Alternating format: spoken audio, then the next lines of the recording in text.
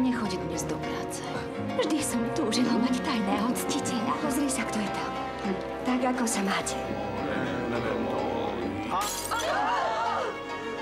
To som bol ja. Venovala som ti roky, kedy som mohla mať deti. Bez šťastnej rodiny to nič neznamená. Pokračuje prvá séria britského seriálu podľa skutočného príbehu Pán Selfridge.